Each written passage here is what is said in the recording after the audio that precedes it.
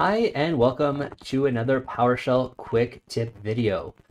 This video will actually build on our last quick tip video that we used the DS internal tools to build ourselves a Active Directory password quality report. And we were actually able to find two users that we found in our dictionary of passwords that we got from our GitHub and then we added some passwords in. So what we're actually going to do today is take those two accounts that we found in the reports and actually run them through a script that we're going to write to find what password in that dictionary that they're using as a password. This can be either used as a tactic to really pressure that user to change their password or really just to see what their passwords are.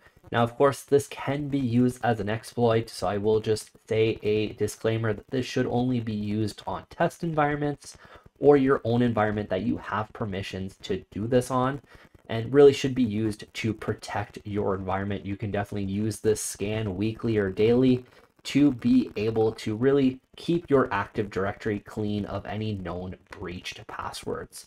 So let's go ahead and let's just get started by first running this code that we created in the last video. I'll have a link to the previous video in the description. If you guys haven't watched it, it is definitely going to be a helpful video to watch before watching this one, just because a lot of the base here that we're, we've already have written is going to be coming from that video. And it's not too, too long. I think it's only like 10 11 minutes.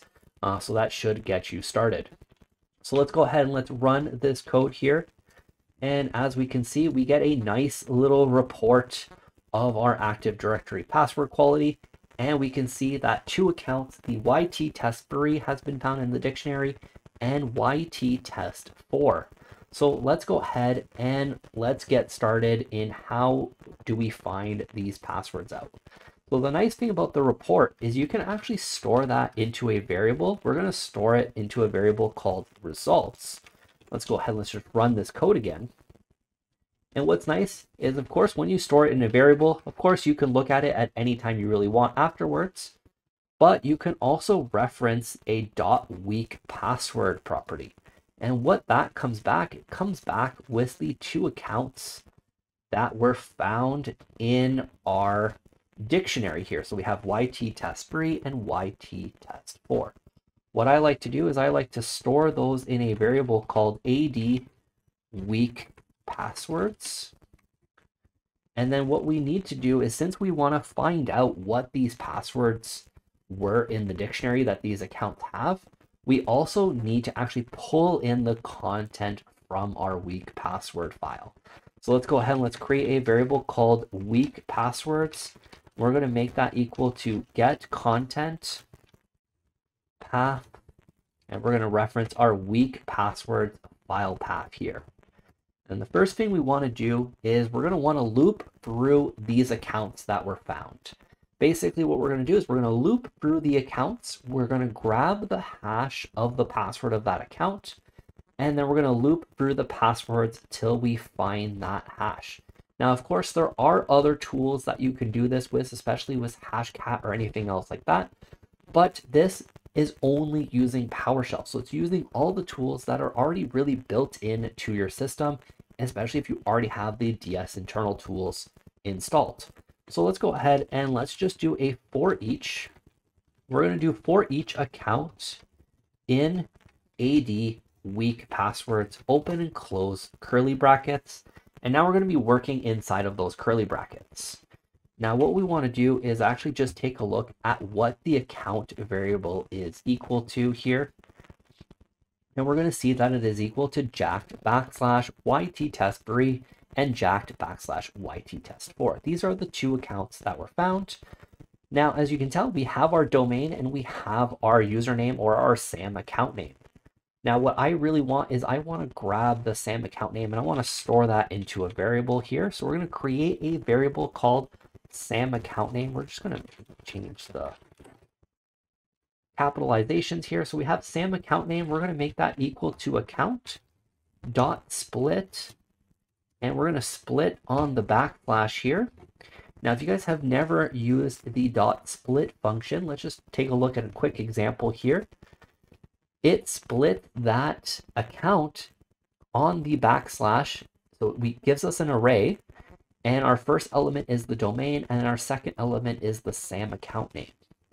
Since we want the second element, we need to reference that second element, and since arrays are zero-based indexes, we need to look at element one, which is going to grab us the second element. So if we actually just go ahead and run that, we can actually see that it does grab us that second element. So that is perfect. Now what we need to do is get that user password hash. Now we've seen this in the previous video, how to do that with the get80 REPL account. So we're going to store that into a user variable, and we're going to do a get80 REPL account with the SAM account name of account name and our server, we're going to reference our server. Now, of course, you can definitely grab the server that the user belongs to or the domain that the user belongs to with that split, but we already have that server set from our first script here uh, that we wrote in the last video, and we have that in the server variable. So we're just going to use that for now. And now if we go ahead and we run these two lines of code here, and we go look at our user object, which is going to be the user object that we got back from the get80 REPL account. We're going to see that we do get all that information that we saw in the last video, including that NT hash. Now, one thing about the get80 REPL account is the dot notation to get the NT hash isn't necessarily super obvious. Now, you can do a dot NT hash here, but it is in a byte array. Now, of course, you can definitely convert that byte array into what you need. What I actually like to do a little bit more, um, it may be a little bit more lines of code, but it is just a good practice to use this in case you ever need to in a different scenario. But what we're actually going to do is we're going to create a variable called user hash. And we're going to make that equal to user pipe that to format dash custom here. And we're going to have a view.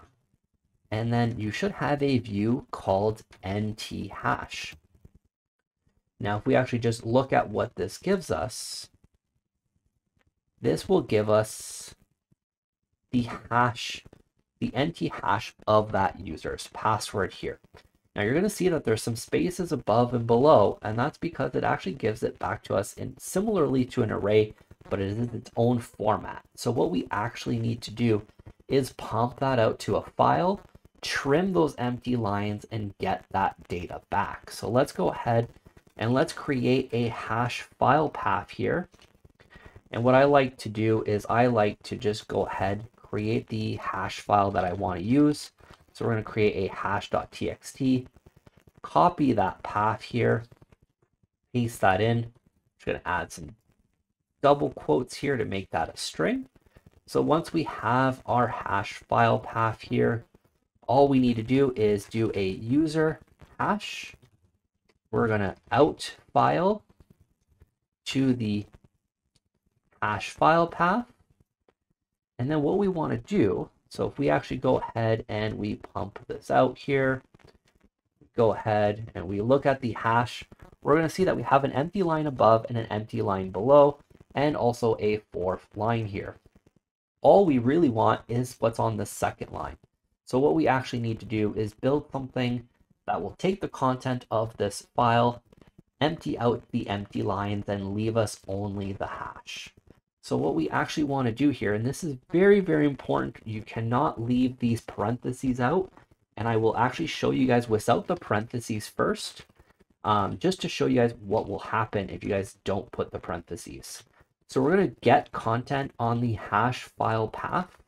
We're going to pipe that to where, open and close curly bracket, dollar sign underscore, which is going to be um, the line there. And we're going to do a dot trim open and close uh, parentheses not equal an empty string. So double quote double quote.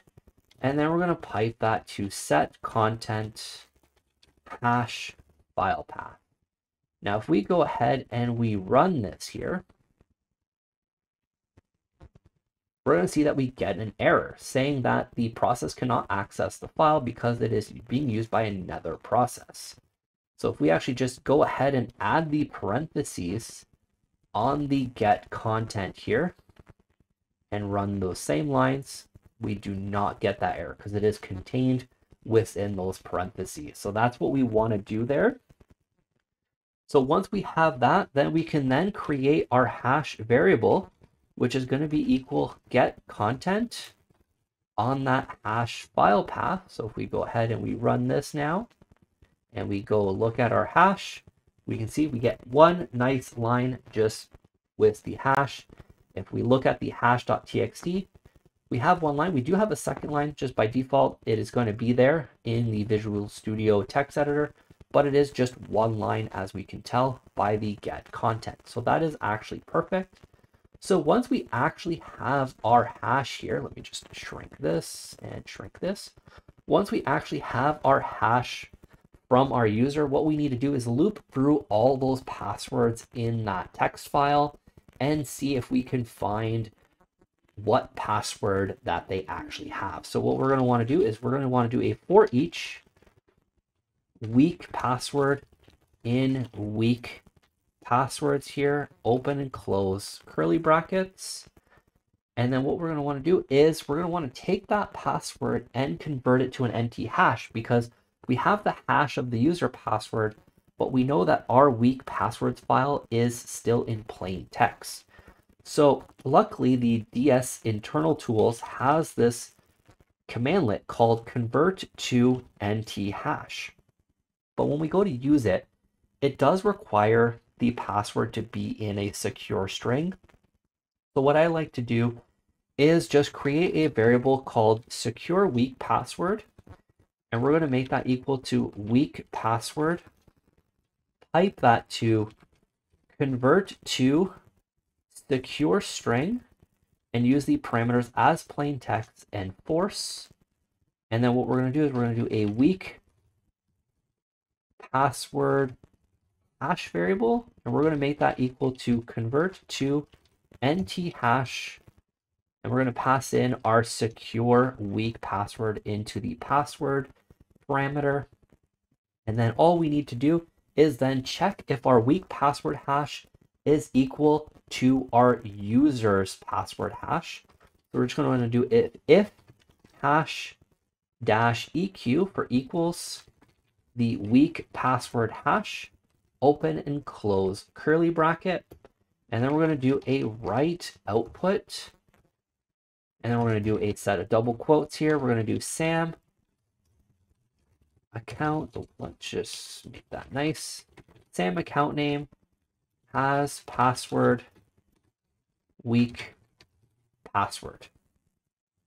And now if we go ahead and we actually run all of this code, oh, and one little thing here, if we don't write this, even once it finds the password, it will keep looping through the password. So to make this code a little bit faster, as soon as it finds the password, it's going to break out of this loop and then go to the next user.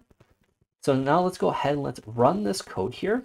Now we're going to see that it does work, but we're going to have something that pops up on the screen here. So we already found our first account's password is test12345 exclamation mark, and we get this really nice and ugly red text for convert to secure string um, because the string is empty.